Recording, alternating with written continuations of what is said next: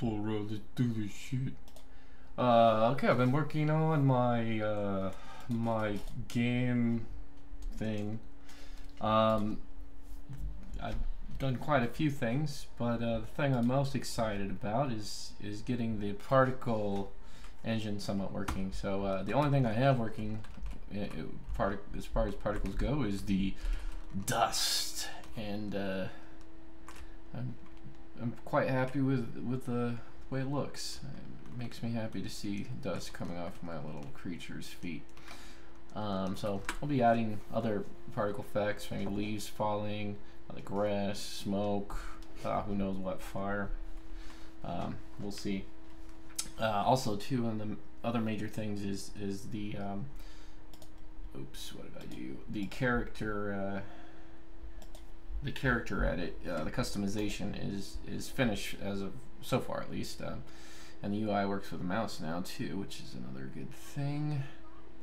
Um, but uh, let's see here, we got all sorts of uh, parameters, torso length. We can just kind of play around with these. The torso thin, and uh, you know just by tweaking a few of these parameters, we can get a, a totally different look.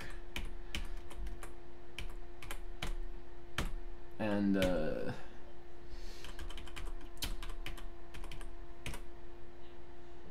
oh yeah, I like that. Okay, yeah. So anyway, so that way, uh, hopefully, have a good variety of characters. Uh, create your character and be unique.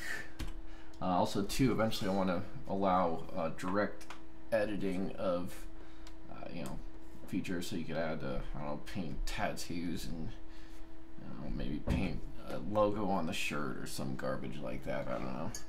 Anyway, so um, that's how that works. And uh, another important part of this is um, since this whole engine is uh, running in JavaScript, which isn't exactly the most blazingly fast for rendering graphics and, and whatnot, um, these uh, these images are rendered in the background um, uh, which allows you to still play the game while your character is rendering. Um, I probably could optimize it and make it a little faster, but this way you can keep playing the game while it's it's rendering. Um, these uh, characters are actually created with uh, uh, voxels, I guess you'd say, and uh, they're scaled up. And yeah, I know this is really boring. Okay, so anyway, so I'm working on the game, and uh, hopefully uh, next week.